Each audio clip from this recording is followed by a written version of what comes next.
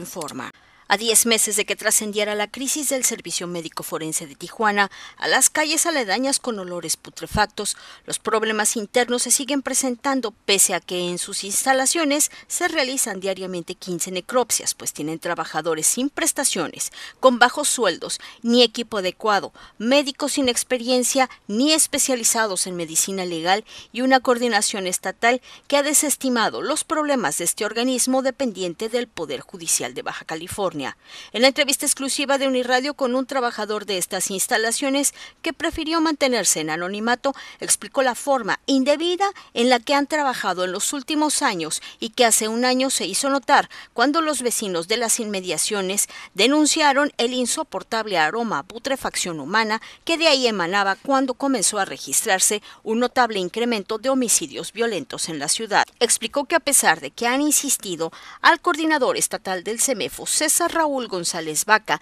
que modifique en Tijuana ciertos manejos urgentes. Incluso se le ha sugerido una forma de generar recursos propios para atender los problemas de mantenimiento, como el cobro de los embalsamamientos que hace 10 años se practicaban en estas instalaciones, se ha negado rotundamente sin dar mayor explicación, por lo que tales procesos quedan ampliamente en manos de las funerarias que hasta hacen guardia en el exterior para captar a los deudos que recogen los restos de sus familiares caídos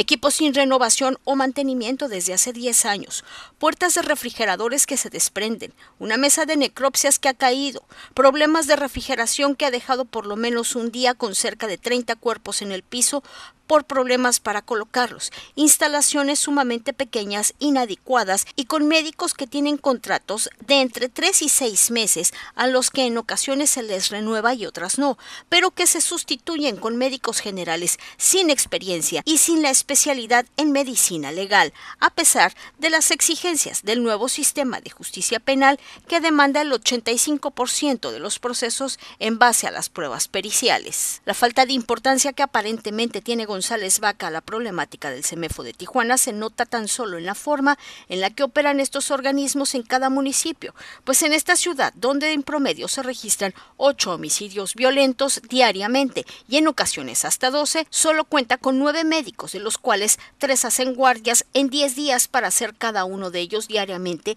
de cuatro a cinco necropsias, mientras que el resto atienden otro tipo de certificaciones, litigios, mientras que en Mexicali existe el mismo número de médicos médicos más un histopatólogo que atiende los casos de análisis de tejido que se requieren en toda la entidad, así como otros seis médicos en Ensenada, cuatro en Rosarito y Tecate respectivamente. Lo anterior se suma a la inconformidad de trabajadores que tienen sueldos de aproximadamente 12 mil pesos, los cuales no se dan abasto para labores de mantenimiento, por lo que los diseccionistas también realizan estas funciones, sin contar muchas veces con el equipo adecuado, poniendo su salud en riesgo, pero además carecen de prestaciones pues solo tienen la médica el Istecali que les ofrece únicamente mientras están vigentes sus contratos, mientras que el doctor González Vaca ha emitido convocatorias para contratar médicos forenses en su estado natal Michoacán, pese a que en Tijuana existen profesionales que cumplen con el perfil y las necesidades para cubrir esas plazas.